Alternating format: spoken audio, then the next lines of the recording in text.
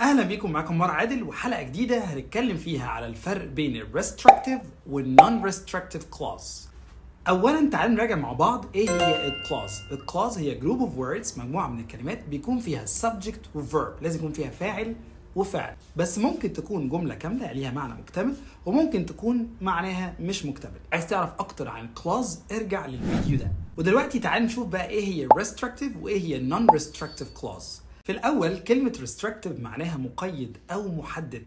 يبقى restrictive clause هي جملة بتحدد أو بتقيد. جملة مقيدة أو محددة. فأقول مثلا حاجة زي The man who lives next door is my cousin. الراجل اللي قاعد في الأوضة اللي جنبي هو ابن عمي.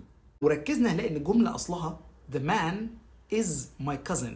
فدي كده جملة عامة مش معروف أنهي مان أنهي راجل اللي بنتكلم عليه.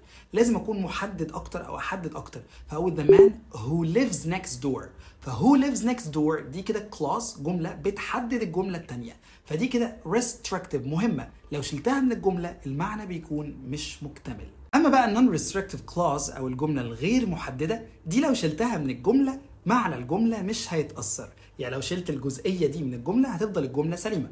زي مثلا لو قلت John who is a great student studies hard.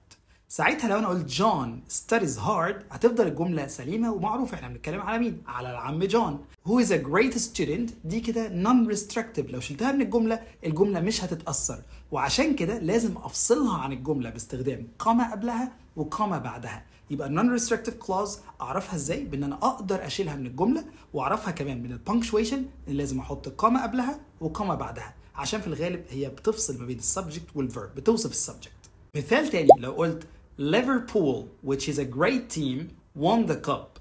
لو أنا قلت ليفربول won the cup الجملة سليمة. ليفربول فازت بالكاس. ولكن أنا حطيت في النص وصف كده زيادة. ليفربول which is a great team. ف which is a great team دي حتة زيادة. ممكن أشيلها من الجملة. لكن أنا خليتها عشان أدي وصف زيادة. فساعتها لازم أحط قامه قبلها وقامه بعدها. ودي بنسميها non restrictive clause أو indefinite clause.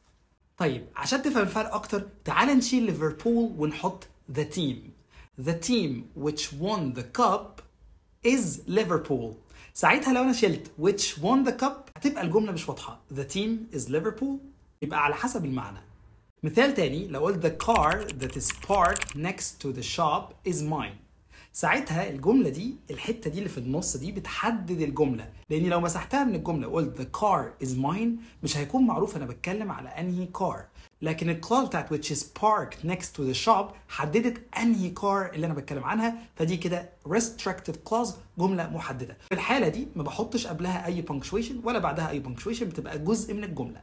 عشان تتأكد هي restrictive ولا non restrictive جرب تشيل ال clause دي من الجملة. لو الجملة فضل معناها كامل وسليم يبقى دي كده non restrictive ولازم أحط comma قبلها و comma بعدها.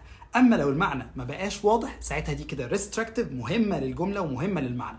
وساعتها ما بحطش punctuation قبلها ولا بعدها.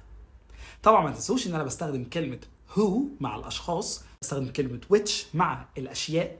يعني قلت مثلا the man who أو the team which. وبستخدم كلمة that مع الاثنين. ممكن مع الأشخاص وممكن مع الأشياء. Thank you for watching. تنسوش تعملوا subscribe وتفعلوا الجرس عشان يوصلكم الفيديوهات الجديدة. تنسوش ال like وال share